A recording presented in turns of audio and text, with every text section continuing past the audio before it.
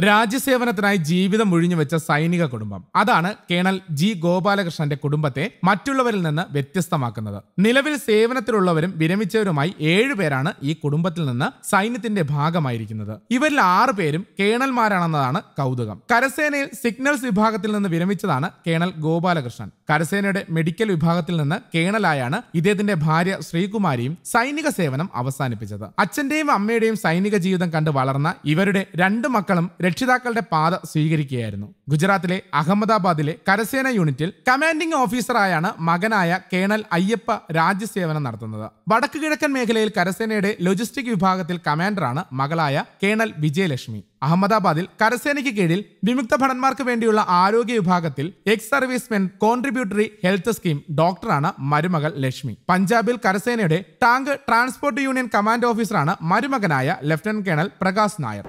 എല്ലാവരും ആകാൻ പറഞ്ഞിട്ട് ഒരു പ്രത്യേക റീസൺ ഒന്നുമില്ല.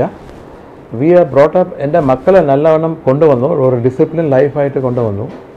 അത് ഞങ്ങൾ മാത്രം അങ്ങനെ ചെയ്തില്ല. പല ഓഫീസർമാരും പല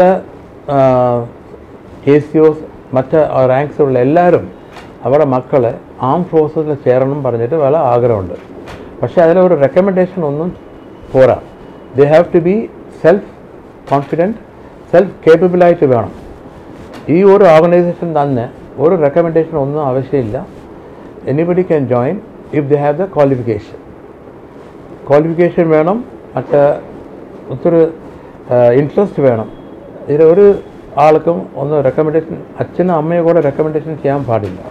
കേണൽ ഗോപാലകൃഷ്ണന്റെ സഹോദരനായ ജി വെങ്കട്ടരമണനാണ് ഈ കുടുംബത്തിലെ മറ്റൊരു കേണൽ. സൈനിക സേവനത്തിൽ നിന്ന് വിരമിച്ച വെങ്കിട്ടരമണൻ ഇപ്പോൾ പൂനെയിലാണ് താമസം. പാലക്കാട് സ്വദേശിയായ ഗോപാലകൃഷ്ണനും ഹരിപ്പാട് സ്വദേശിനിയായ ഭാര്യയും സൈന്യത്തിൽ നിന്ന് വിരമിച്ച ശേഷം ഇപ്പോൾ തിരുവനന്തപുരത്ത് പാങ്ങോടാണ് സ്ഥിര താമസം. കാർഗിൽ ഉൾപ്പെടെ രാജ്യത്തിന്റെ വിവിധയിടങ്ങളിൽ സേവനം നടത്തിയ ശേഷമാണ് ഗോപാലകൃഷ്ണൻ സൈന്യത്തിൽ നിന്ന് വിരമിച്ചത്. സൈനിക സേവനത്തിനായി രാജ്യത്തിന്റെ വിവിധ ഇടങ്ങളിൽ കഴിയുന്നതിനാൽ വർഷത്തിലൊരിക്കലാണ് കുടുംബാംഗങ്ങൾക്ക് ഒത്തുകൂടാൻ സാധിക്കുന്നതെന്ന് കേണൽ ഗോപാലകൃഷ്ണൻ പറയുന്നു. മക്കളും മരുമക്കളും സൈന്യത്തിൽ സേവനം അർഷിക്കുന്നതിനാൽ ഏറെ ബഹുമാനത്തോടെയാണ് സുഹൃത്തുക്കൾ തന്നെ കാണുന്നത്. വർഷത്തിൽ ഒരിക്കലാണ് മക്കളും മരുമക്കളുമായി ഒന്നിച്ചുകൂടാൻ സാധിക്കുന്നതെങ്കിലും അതിൽ വിഷമമില്ല. രാജ്യസേവനത്തിനാണ് പ്രഥമ പരിഗണന. ചിലപ്പോൾ അവിടെ ഈ ഓണ സമയത്ത് വരാൻ ചാൻസ് ഉണ്ട്.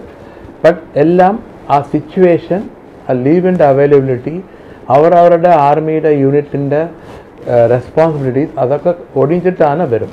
So the priority armed forces ആൾക്കാർക്ക് ഫസ്റ്റ് നമ്മുടെ നാട് ദേശമാണ്.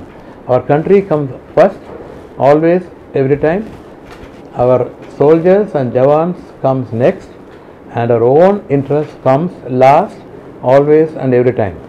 അതാണ് ഞങ്ങൾ പഠിച്ചത്.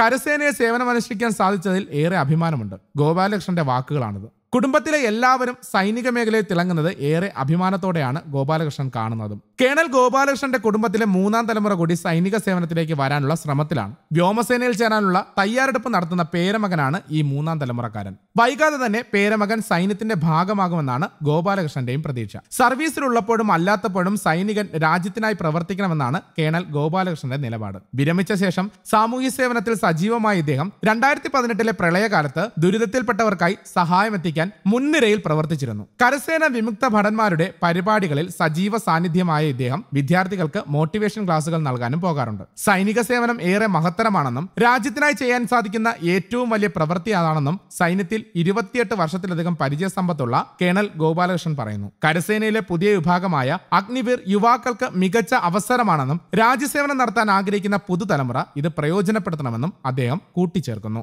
News desk Kerala Kaumudi.